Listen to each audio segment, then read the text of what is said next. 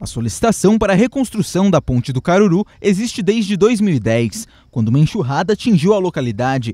Na mesma ocasião, o rio Tubarão transbordou e causou estragos em diversas pontes da cidade. Algumas delas foram recuperadas com recursos do município, mas outras acabaram ficando de fora, sendo a do Caruru uma delas. Só no início deste ano é que um acordo foi firmado para que a ponte fosse reconstruída. Essa é uma ponte conveniada junto às secretarias de Defesa Civil do Estado e dos municípios, ao qual remetem a doação das, das vigas né, que compõem a, a, a ponte. A obrigação dos municípios, então, é de preparar né, toda a infraestrutura necessária com relação para apoio dessas vigas, seriam as cabeceiras, os aterros, enfim, os acessos até lá.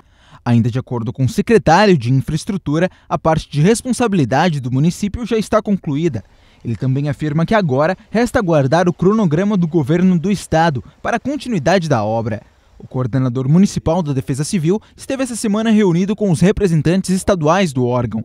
Eles asseguraram que a estrutura superior da ponte deve ser instalada muito em breve e que a colocação é rápida. Tem um equipamento especial, um guindaste especialmente desenvolvido para a colocação dessas pontes. E então vem esse, esse guindaste, é, é, traz essas estruturas que estão lá do coloca sobre uh, os alicerces. Né? Então é um serviço de 24 horas. Conversei com o diretor de respostas aos desastres da secretaria, que é o James da Silva, e ele informou que no máximo dentro de 15 dias o veículo estará se deslocando não só para Tubarão, que tem algumas outras pontes na região, mas que virá Tubarão para a gente fazer a colocação desta, desta ponte.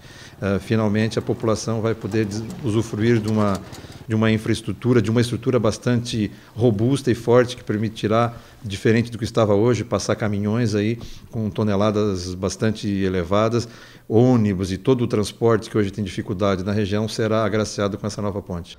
O coordenador municipal da Defesa Civil afirmou ainda que uma outra ponte deve ser recuperada ainda neste ano em Tubarão com os recursos do governo do estado.